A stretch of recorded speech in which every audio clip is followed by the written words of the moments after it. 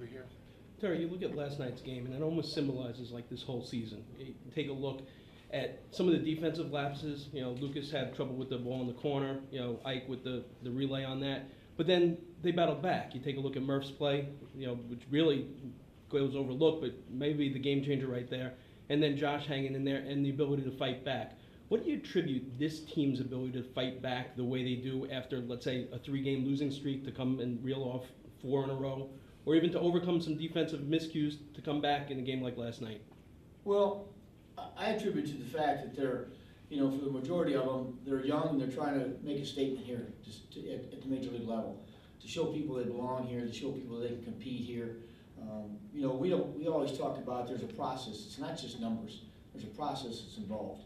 And if you show, and if you do it right, if you play the game right, and you, you know, grind out at bats, and you, you're willing to take a base on balls, all of those things will end up leading to some success. And, and that, that success spreads. Uh, and that's what we're, that's what we're trying to achieve here. And I think that's why this club is the way it is. I just think they, they have something they, they want to show people, hey, look, I, you know, I, I'm not just filling in, I'm here to stay. And I think it makes a big difference when you, when you have that attitude, so. Terry, how do you balance wanting